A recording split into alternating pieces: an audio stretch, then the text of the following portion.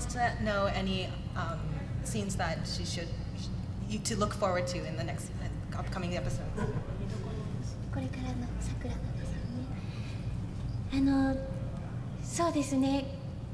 言ってしまいそうなので あのでもえっ、とさくらはまだまだ終わらないと感じさせてくれる最終回でしたのであのどうか期待してあのご覧いただけたらと思います。She, um, I'm really worried to. Well, okay. I'm a little worried to say something that she shouldn't, and spo- any spoilers. But um, the final episode is something that you would, you will feel hopeful for Sakura to not end. So she would, she hopes that everybody would look forward to finishing the series as well. Thank you very much. Thank you Anyone? Yeah. Uh, what would you say is the favorite uh, battle costume that Toyo made?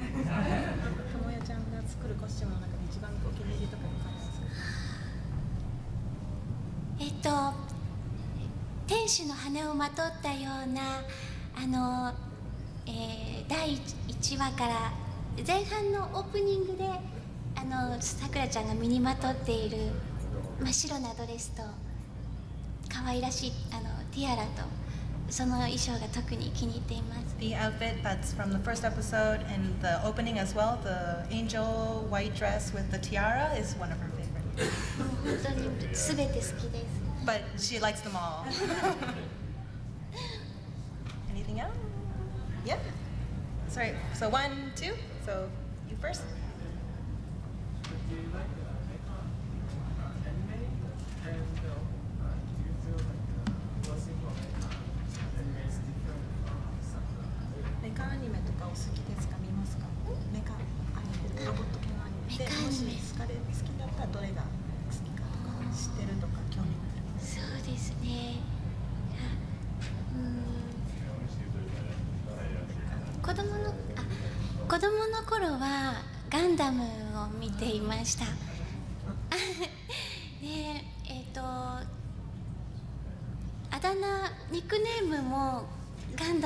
した。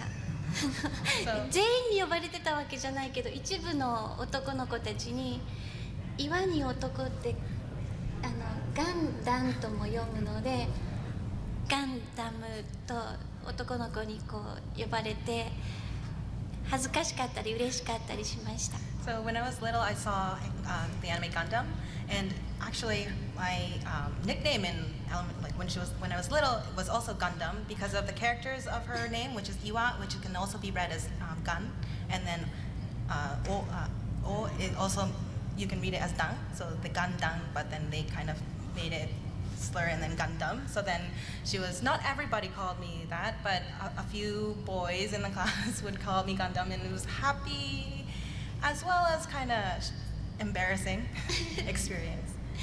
はいメカアニメであの声優をされる雰囲気と高間ちゃんあの魔法少女だったらどう違いがあるそうですねえっとうーんまあ例えば「エヴァンゲリオン」などの現場の雰囲気はこう大人っぽい感じあのシンプルに言うとで「魔法少女まどかマギカ」のアフレコ現場は女子校のような感じ So the difference between the um, voice acting of like mecha anime and like magical girl magical girls anime, let's say Evangelion, it's more of like uh, adult grown up kind of atmosphere, whereas the Madoka Magica um, voice acting would be more like uh, high school girls kind of as- atmosphere when she's taking the voice.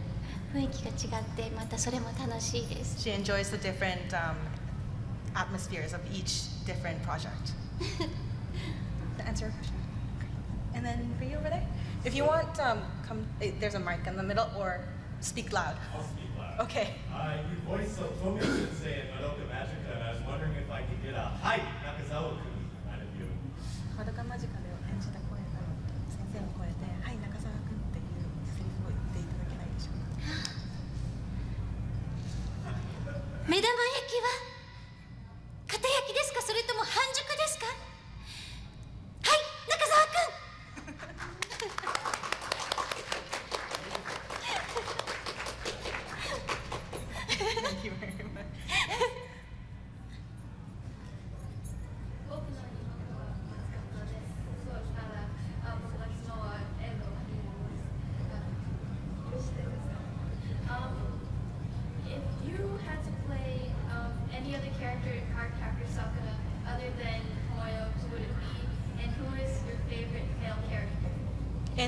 in Card Capture Sakura? Okay. えっと、カードキャプチャーさくらの中でともよちゃん以外だったら誰を演じてみたいですか？またはカードキャプチャーの中であの異性のキャラクターのお気に入りを教えてください。もしともよちゃん以外だったらですねえっとケロちゃんの あの関西弁のセリフを言ってみたいです So if I can play another character other than Tomoyo, I'd like to play Kero-chan with the Kansai um, dialect. あの日本はあの関西弁でお笑い芸人の方がみんなを楽しませる時間がたくさん番組でもあるんですけど昔から関西弁にちょっと憧れて So the TV industries or the entertainment industry in Japan, a lot of the comedians speak the Kansai dialect and they make um, like make people laugh. And since I was little, I was kind of looking up to people who like or kind of looking up to the Kansai dialect. でカードキャプターさくらのケロちゃんはどんな方が演じるのかなと楽しみにしていたら大阪出身の久川綾さんだったので嬉しかったです And so therefore, when we were filming the Card Capture Sakura, I was really looking forward to who would be playing Kero-chan. And um, it was someone who was from Osaka and Tachisato Aya. And I was very happy to meet her. とてもぴったりなので It was a perfect role for her. Or, yeah, she was perfect for the role. Uh, did you have more? If, who's your あ Oh, yeah. そっかああ憧れのそうですねえっとあキャラクターですよね えっとそうですねあのこここだけの告白にしてほしいんですけど So let's between it. Let's make it between us only, okay? えっとさくらちゃんのお父さんがはい so the uh, favorite ma- male character in Card Capture Sakura is uh, Sakura's dad. Is her favorite. はいあのもうとても優しい男性が好きなので He seems so nice, and I like nice male characters. はい憧れます Anyone else before you? Maybe someone who hasn't asked questions? Sure. Um, just wanted to ask, was uh, voice acting your goal from the outset? Sorry, say that again, please. Was voice acting her goal? Was it your goal from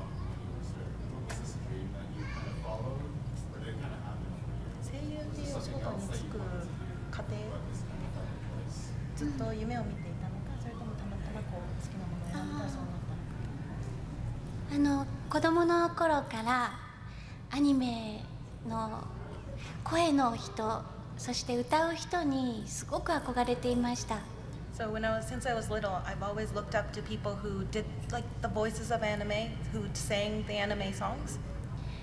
でもあの私がまだ幼い頃はアニメ声優というそのまだ職業がこうみんなにとってピンときてないというか So when she was little, uh, um, the actual job title, uh, voice actor, wasn't too well known. 今でこそ有名になったんです Now け with ど now it's more popular and well known between everybody, but it wasn't too known at the time. そしてどうすればよいのかわからなくて自分の年齢で受けられるオーディションをまずは受けました So she wasn't too sure on how to actually become a uh, voice actor. So then at the time, um, she took an audition on whatever auditions that allowed for her to audition at her age. で東京に上京はしたんですけどそこから、えーチャンスを得たのはアルバイト中でした So she moved to Ju- uh, moved to Tokyo to become a voice actor, but the actual um, turning point for her to become one was through um, her side her her work, あのえっ、と,、part-time work. えー、と生まれ育った九州から東京に上京して10年間すあの夢を叶える期間を自分で決めてで、えー、とそこでデビューできなかったら帰るという親との約束もあったのでその10年目にアルバイト先で声優として歌手としてのオーディションがあるから受けてみないかって言われました So um, she had a promise with her parents when she moved, made the decision to move from her uh, Kyushu house to Tokyo, and she was she made a promise to herself as well as to her parents that she's going to give herself 10 years to pursue the dream of voice acting. If that if it doesn't happen between that year, then she's going to give up on the dream. Um, on the 10th year, she had an opportunity at her part-time job for an audition to, as a voice actor. 13歳の時に上京して23歳の時に10年目にもう自分で決めた10年目にやっと声優のオーディションに受かることができました So she moved, she made this decision when she was 13. So she moved away from home when she was 13. And on the 10th year, when she was 23, she finally got the chance to become, uh, she got the audition. それが NHK アニメの「モンタナ・ジョーンズ」という作品のメリッサ・ソンというヒロインでした And uh, that's the, the first um, audition that she got was the NHK uh, Montana Jones uh, playing uh, Mar- Marisa So. Does that answer your question? Uh, yeah. um, just one more too. Um, in that 10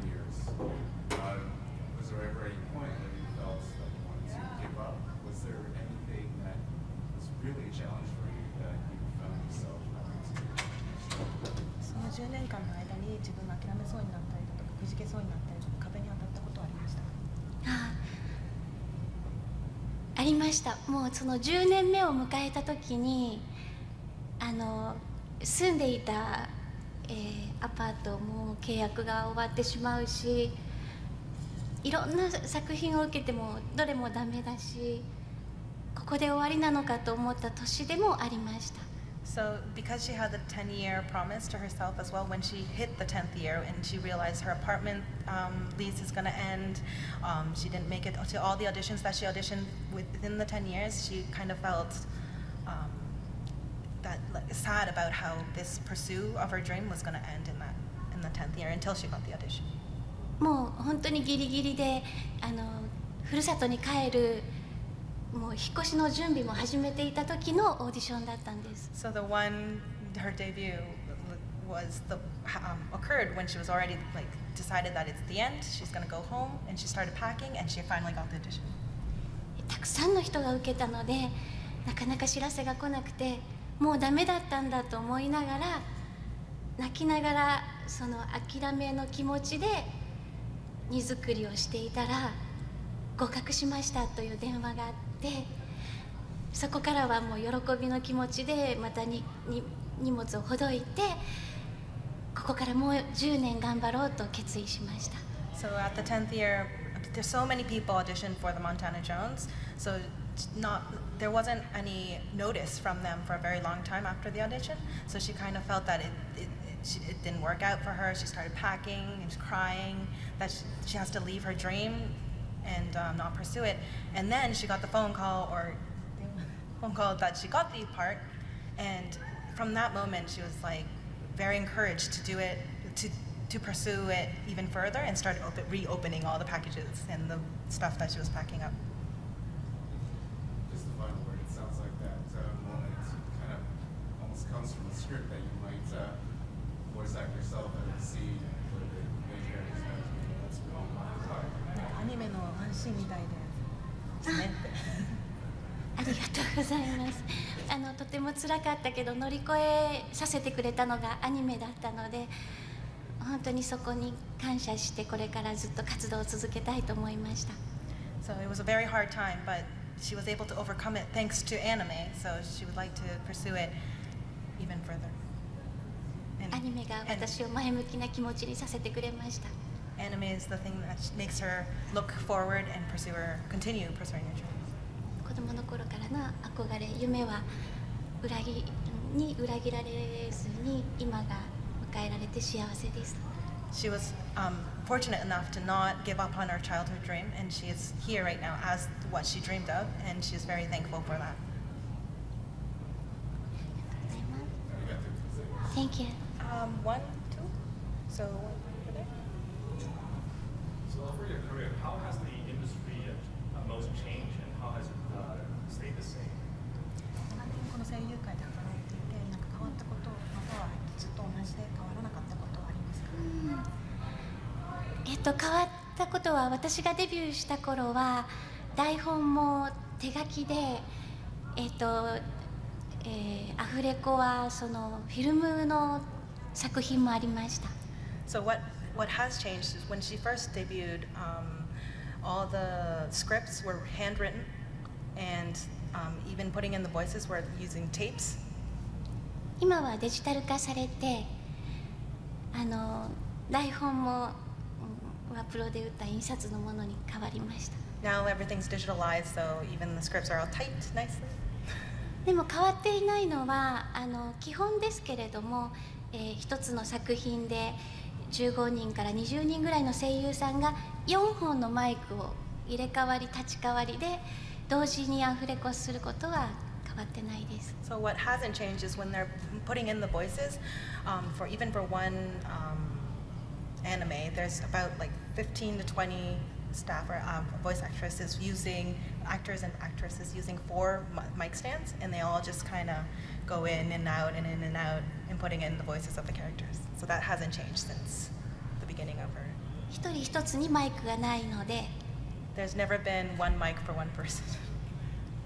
20人ぐらいであの自分の出番になったらマイクの前に行って終わったら下がるまた前に出て So um, with like 20 people in the room with four mics, when it's your turn, you come up, speak, come back out, and let another person use the mic, and just continue that until the scene is done. 歩く音を立てないようにとか台本をめくるノイズを入れないようになどの気も配りながら アフレコすることは以前と変わってないです So try, when you walk up to the mic and walk away from the mic, or even looking through your um, scripts, you try not to make any sounds, no footsteps, no page turning, so that you don't interfere with anybody else, and that hasn't changed since I started. ありがとうございます Uh, in your free time, what anime or manga titles do you consume? And uh, what are your favorites? 自由時間に お気に入りがあれば。はい。そうですね。自由時間に見ているのはあのいろいろあるんですけど。そうですね。うんと。いくつかあげてもそうですね。えっ、とまあ漫画カフェのようなところに行って子供の頃に読んでいた「ガラスの仮面」とか「キャンディーキャンディー」などを今はこう読み返して懐かしんでいます。でえっ、とそうですね。アニメだともう録画して見ていたのは「獣フレンズ」とか。今日はプロデューサーさんがいらしてるので 本当にあの昨日空港で初めましてだったんですけどあの緊張して全然おしゃべりできないぐらいあの嬉しいです。えっ、とまああとはあのえー、とリアルタイムでカードキャプターさくらを毎週日曜日の朝7時半に見るのがツイッターでファンの皆さんと一緒に見るのが楽しみででさらにあの自分の自由時間に録画したものを繰り返し見てしまうぐらい私自身もすごく癒されていますしファンでもあります。 So as for manga, I often go to the manga ki- uh, cafes in Japan and reread all my childhood favorites, which is like the um, Candy Candy or um, Garas, uh, Garasu no Kamen, so the Mask of Glass. I don't know the ac- English. tra- glass mask. Okay, yeah, it's a glass mask. And as for anime, the favorites that I actually um, save our Kimono Friends. And fun fact that she actually arrived here with the producer of Kimono Friends. So yesterday, when she first met him at the airport, because they came together to, uh, to Toronto through the same plane, um, she was so nervous that she couldn't have any conversations with him. Slowly warming up at the moment. And another one is Card Capture Saka. She also takes uh, takes that. She actually watches it every Wednesday at 7:30 with the fans on Twitter in real time so that she can enjoy it with everybody as well. And she also films it so then she re-watches it on her free time. Thank you. So yeah, I guess we'll go for a second round if anybody hasn't asked any questions. So you first. Sorry?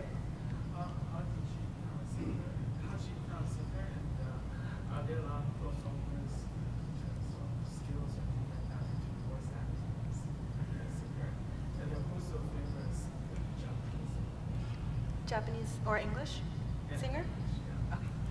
えっと歌手活動を始めたのは何がきっかけだったのかと歌手活動と声優活動であの使えるスキルと両方で使えるスキルがあれば一つとあと他に好きな歌手さん、えー日本語でも、えー英語の歌手さんでもいったら教えてください。はい。えっ、と最初何でしたっけ？歌手活動いつ始めたはい。えっと、歌手としては声優よりも早かったんですけど16歳の時にあのデビューしてでその後グループ歌手だったんですけどもその後にソロ活動で始めたのは CM ソングですとかそれから日本の童謡を歌うあの歌のお姉さんというあのお仕事もたくさんしてきました。で、えー特にその CM ソングを歌わせてもらう機会が多かった時にあの少年少女合唱団に向けての、えっとちょっと子供の声にして歌ってみてくださいという機会があってそういう時などにきっとともよちゃんとして歌う声なども身につけさせてもらったのかな声を変えて歌うことを学んだのが10代の時でした。So I actually started singing before doing voice acting, which when I was 16 years old. So her debut for voice acting was 23. So she started singing in 16. She started off as a group, and she also that transitioned to her solo singing, and um, the she started singing to, to a, a commercial first, and that got out there, and she. Uh, and then she also sang on TV show where you sing folk songs to little kids, and she acted. She was the character of the singing sister. I don't know. It's like that's the transition. Like to sing to folk songs on the kids show. She also, from the commercial singing, she was she had the opportunity to sing to like a choir, and she was asked to sing in like a childish voice. So that's when she first started to start like change her voice into different characters and different um, needs. And she believes that maybe that is where the Tomoyo singing technique started. 例えば、えっと、普通に今喋ってる声でう歌ってその次にちょっと子供っぽくともよちゃん風に歌ってひとひとワンフレーズ歌ってみますね So as an example, she's going to first start, uh, she's going to sing a, a little one phrase in her normal voice and then sing in a childish Tomoyo voice the exact same thing. I am a dreamer 潜むパワー I am a dreamer 潜むパワーありがとうございます。うんこういうことを10代の時に学ぶことができました。So she was fortunate to learn this in her, te- uh, in her teens.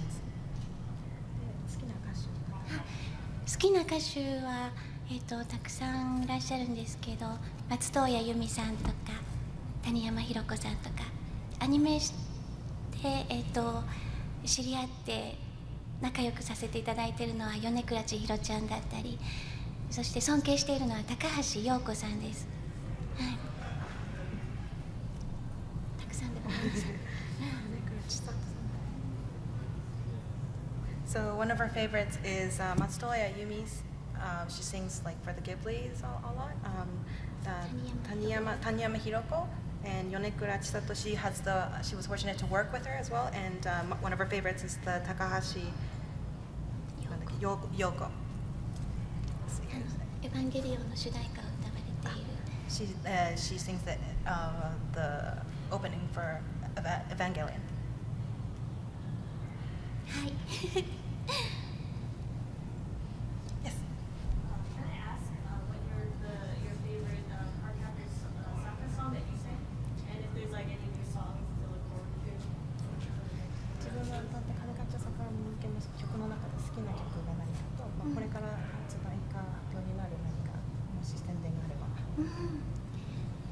とともよちゃんとして歌わせていただいた「夜の歌」や「優しさの種」「ともえ」などはもう大好きです。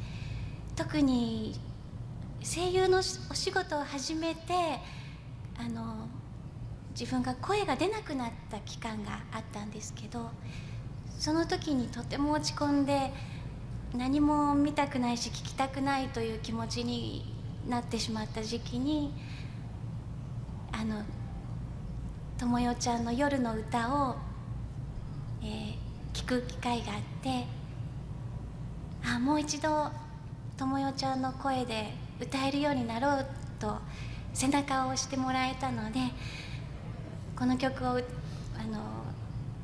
とてもえっ、とそうですね大切に思っていますし大切なだけにこう歌おうとすると涙が出そうになるぐらいあの勇気づけてくれた曲です「優しさの種」「ともえ」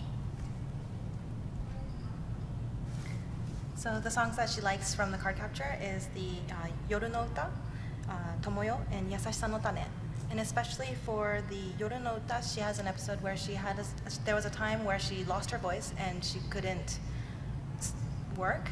And um, there was a time when during that period where she heard Yorinota somewhere and was encouraged to want to sing in Tomoyo's voice again, and that encouraged her to try to get her voice back and pushed her. So Yoru no Uta is a very dear song to her. It's like a very important song, and even today when she sings it, she starts to tear up.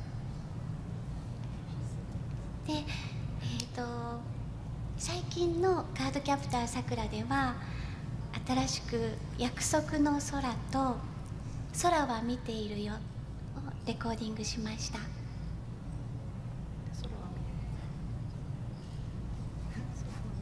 見ているよ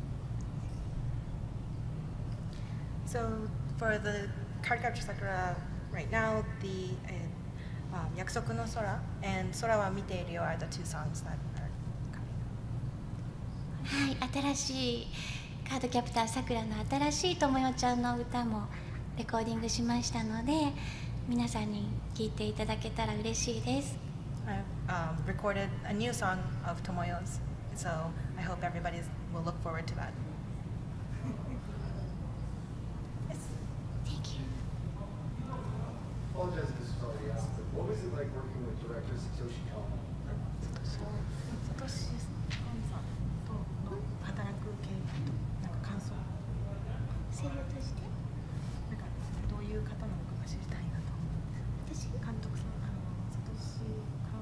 サトシコンさんと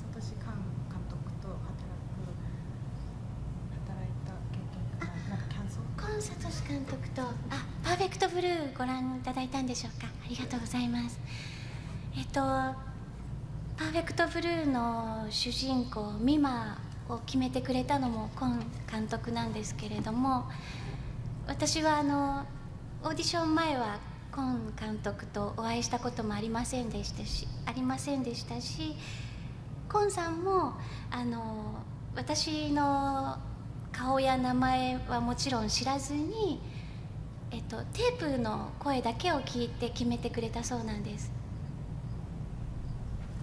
So um, the d- director was the actual person that um, got her, to, chose her for the role of role in Perfect Blue, and um, before the actual uh, recording or even even at the audition, she never met him. So and he never met her, like her, and she never saw pictures or anything. He just chose her with the voice through a tape recording. So she's very honored to work with him. そのテープオーディションのセリフは一言だったんですけど「あなた誰なの?」というセリフをもういろんな声優さんが録音したものをコンさんにお送りしてコンさんはずっと「あなた誰なのあなた誰なのあなた誰なのあなた誰なの?」ってうおーって聞いてる中で「この人!」って決めてくれたそうです So the way the audition worked was a tape record. All these the voice actors would send him send uh, the, to the director one phrase, which is "anata dare nano," and um, uh, he would just go through them like this in one phrase of just going up and down, and then he just chose one, like this person, and it happened to be Junko.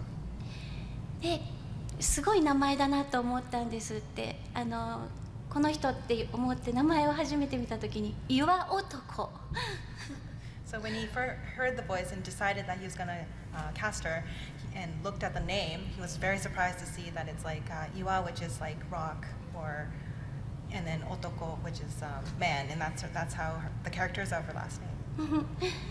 でアフレコが始まった時にあのアイドル時代のミマの声と,、えー、とお仕事をしていない自然体のミマの声を 極端ではなく使い分けられますかと聞かれました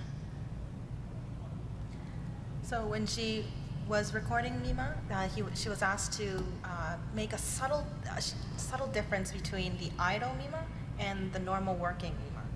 And she was asked that at the first meeting. そしてだんだん追い込まれてクレイジーな気持ちになっていくところもあの経験はないだろうけど思い切れますかという And another question that was asked was um, as she gets um, pressured and get, goes crazy in, in the anime, um, if she can bring her emotions up to that par. いろんな人格を思うがままにあの演じてみてくださいというふうに言ってくださいました Uh, he asked her to um, act as the different uh, personalities and the characters as she would like, as she can, much as she can. あの体が小さいのに声は大きいんですねって言われたのが記憶に残っています One thing that sticks to my mind of, of the encounter to the director is that uh, he said, "You have a small body but a very loud voice." そしてはいミマを演じてくれて本当にありがとうと言ってくださいました And he he said, "Thanks for uh, thank you for um, playing the role of Mima as well." 最初はちょっと怖いのかな怖い方なのかなと思ったけど笑顔の優しい素敵な方でした First, uh, I was kind of nervous. To s- she was nervous um, if he was a very um, scary person, but as she got to know him, uh, beautiful smile, very nice. It was wonderful working with him. Okay, we're at the 15-minute point, and I don't know how many we can go. Yeah, Uh, about your voice, uh, what is your vocal range? ボーカルのレンジは何でしょうか。レンジあえっと高い音とああえっ、としし低い声は G で So the lowest is the G. 高い声は E ぐらい An E? I'm confused on if this any makes any sense. Yeah, Sorry, I think you haven't asked a question yet, so I'm gonna go for you first and then I'll come back.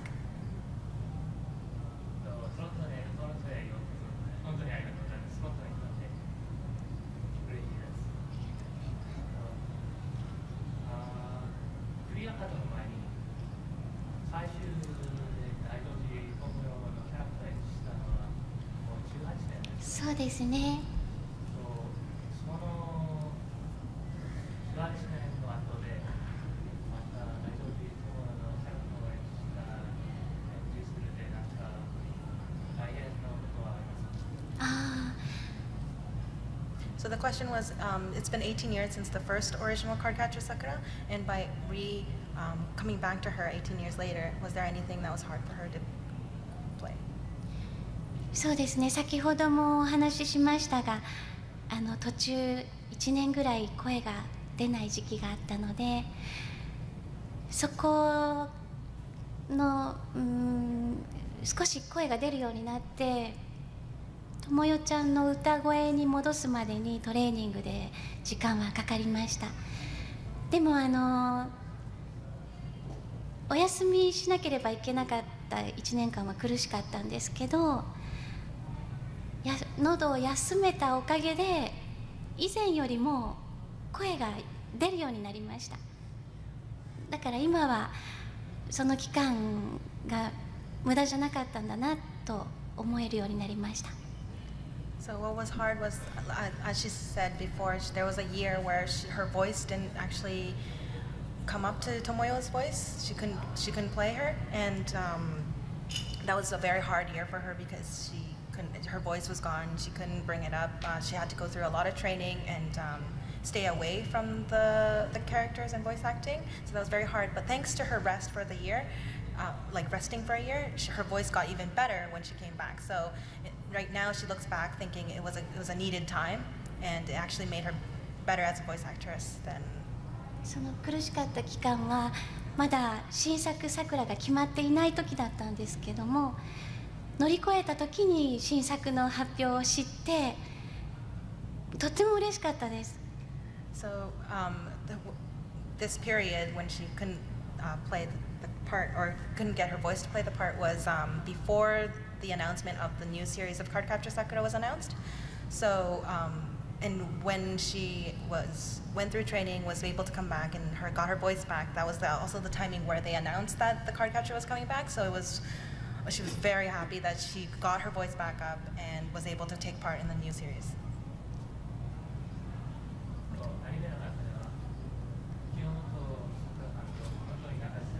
は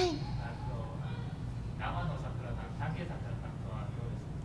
はいあのさくらちゃんとあのシャオラン君と3人でアフレコの前にお茶をしたこともありますしさくらちゃんとは2人であの収録の後こうスタジオから駅までの道のりでお互いのワンちゃんあペットの 愛犬の写真を見せ合ったりしてあのこんな仕草が可愛いよねとかあのそんな会話をしたりして、はい、仲良くさせていただいてます。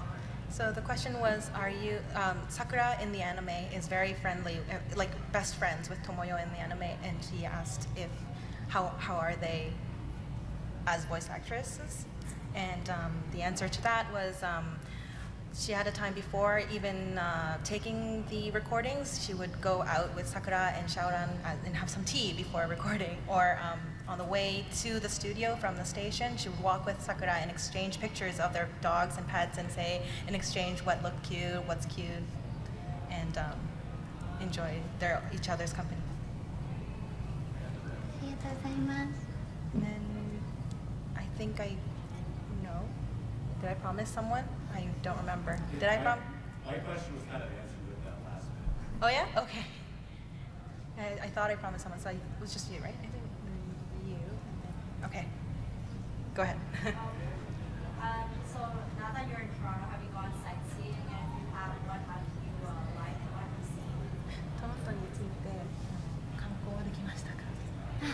昨日到着してあまだあのこの会場と、えっと、宿泊しているところの往復しかしていないんですけどもあの最終日に素晴らしいところに連れて行ってあげるから楽しみにしていてねと聞いています。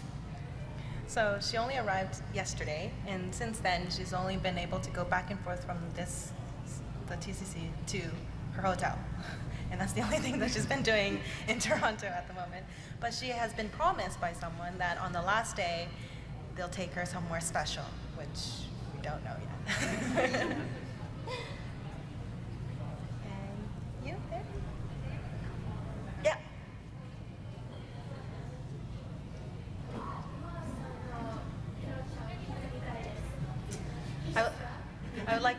line for, um, of her speaking Kero's line.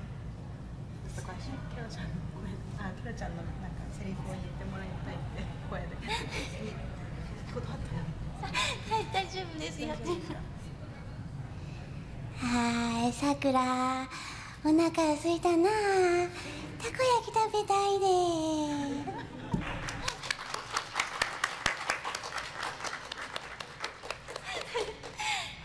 ありがとうございます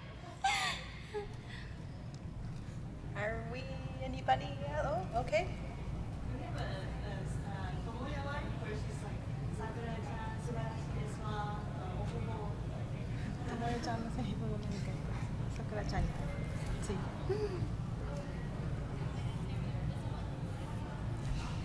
さくらちゃん素晴らしい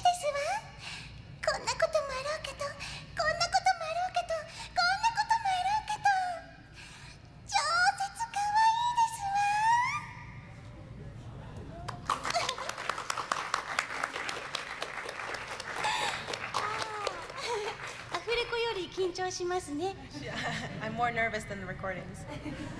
アフレコはあの画面に向かってあの誰にも見られない顔を見られない状態で演じているので今日はその逆なので So 緊張します usually when we record, there's a screen in front of you, space the, um, the screen, so no one's actually looking at your face when you're speaking the lines. But today it's completely opposite, so it's very nervous. yes. Uh, so how did you choose um, these actress? And is she still or えっと、声優さんになるためのトレーニングがありまあったら一つ何か教えてほしいのと今も続けてるトレーニングがあればうーん声優になるためのトレーニングですねえっ、ともう私はあのいろんな声優さんのセリフをこう真似したりあとはあのテレビのニュースキャスターの方がえっ、と喋っていることで難しそうって思ったらそれをすぐ真似てみたりとかそういうことをこうトレーニングの時間じゃなくても日常的に気づけばやっている感じなんですよね。でもあのボイストレーニングの先生のところで発声はいろいろ習っているのでえっ、と企業秘密ではあるんですけど声が「あー」って出ない時に「あー」とこうスーッと出るとかあちょっとうまく伝わらないかもしれないんですけどいろんなあの技術を、えー、と先生から学んでそれを繰り返し録音したものを繰り返しやっています。 So, um, training, official training from, with- from a teacher, uh, she, she also goes to that. But aside from that, she also does, every time she's watching an anime or anything on TV, she tries to um, impersonate the actor or lines that are on in the show. Also, she try, she, re, she she she um, practices lines from like uh, newscasters or like TV announcers. If she feels that it's really hard to say it, she would she notices herself actually just doing it without thinking. So that's become a daily training outside of official training. Um, official training, it is kind of a secret on how she does it, but when the voice that voice doesn't come out, like the ah, she, um, if you breathe in and do it instead, apparently there's a trick to that where you can actually get your voice back. So she learns tricks and uh, techniques from the teachers. Any other questions? Or we're almost done. So I'm gonna say one or two more. あ Oh, yeah, for you, you, you, yeah.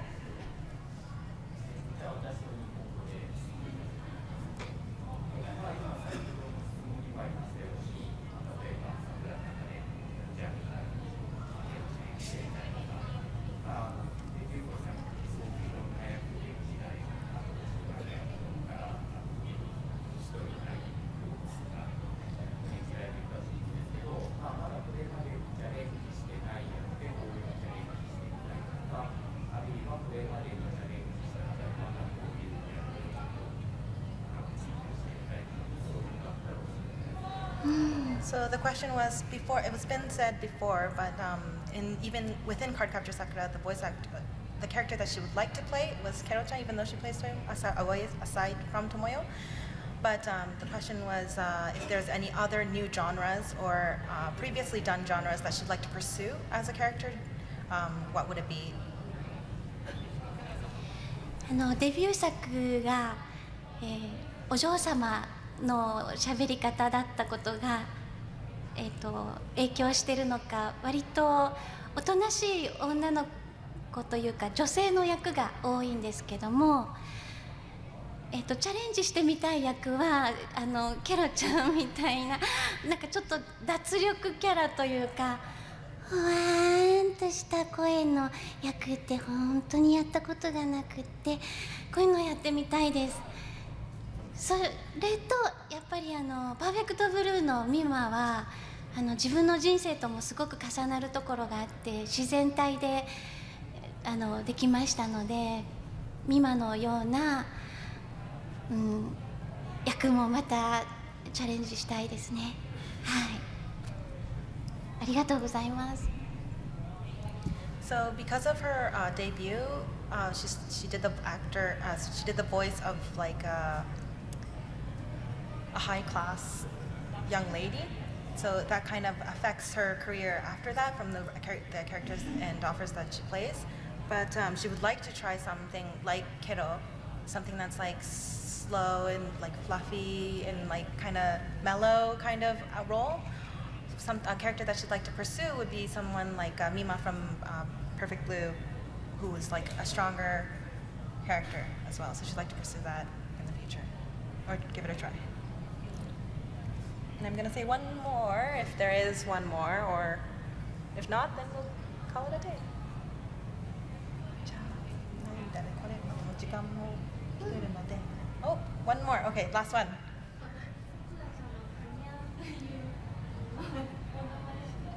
あモノマネ Uh, impersonation of Sakura. は